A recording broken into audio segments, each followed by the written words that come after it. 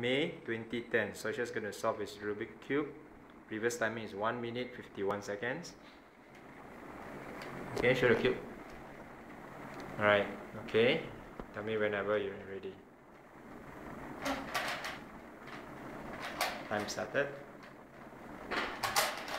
Control your cube. Man.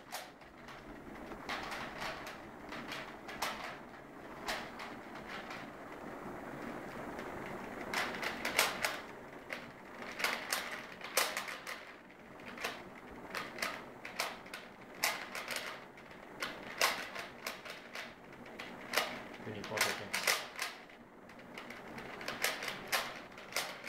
Concentrate.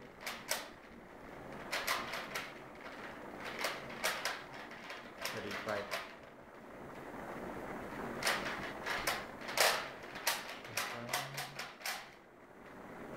Forty-four. Can you finish? Okay. Don't put your cube, huh? Cube. Very good. Timing about 55 seconds. Not bad. So I just record is 50 seconds. This is average time, 55 seconds. Hmm? No, your, your record was 50 seconds, 47. Alright, this timing, 55 seconds.